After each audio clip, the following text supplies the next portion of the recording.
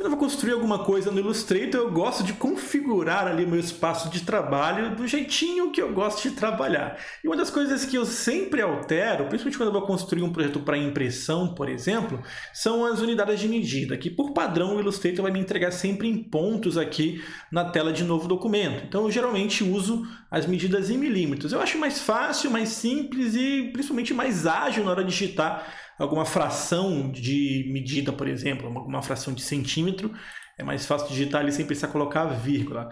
Mas, eventualmente, eu também recebo projetos de colegas de trabalho que eu preciso editar. E esses colegas gostam de trabalhar com unidade diferente da que eu estou mais acostumado, como, por exemplo, esse cartão de visitas aqui que foi feito utilizando centímetros. As unidades de medida são só um referencial, né? Mudar para centímetros, para milímetros, não tem nenhuma diferença na teoria, mas na prática alteraria a maneira que você digita os valores. E como é que você pode alterar as configurações de unidades de medida do Illustrator para você trabalhar do jeito que for mais conveniente para você?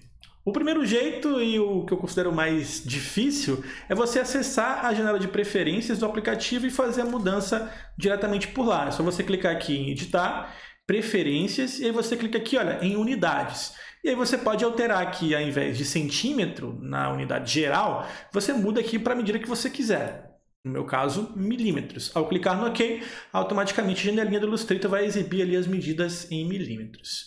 Se você quiser acessar a janela de preferências, você pode fazer isso também pressionando o Ctrl K no teclado e aí você só vai precisar clicar aqui em unidades e fazer a alteração que você quiser. Vou voltar aqui para centímetros para te mostrar agora a segunda forma e a que eu sempre uso porque eu acho mais rápido e mais fácil. Tudo que você precisa fazer é, se ainda não estiver sendo exibida, você pode mostrar a régua na sua interface de trabalho pressionando o Ctrl R. Ela também pode ser exibida clicando aqui olha, em janela, e aí você vem aqui, na verdade, em exibir, tá? E aqui você vem aqui em réguas, e aqui você tem o mostrar ou ocultar as réguas, você vê aqui que o atalho é o Ctrl R. Depois de mostrar as réguas, então, pressionando o Ctrl R, você clica com o botão direito nela e seleciona aqui a opção que você desejar. Eu, no caso, vou selecionar aqui milímetros e pronto, olha só. Automaticamente todas as caixas onde existam medidas ali para eu fornecer a informação serão atualizadas para a unidade de medida que eu quero utilizar.